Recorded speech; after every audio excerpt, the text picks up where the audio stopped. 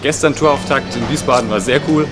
Heute sind wir in Herlen in den Niederlanden und spielen wieder mit Bornes Lions und Nautilus auf der Haupt Rebound Tour im Café Bluff. Kleiner gemütlicher Laden. Wir haben Bock.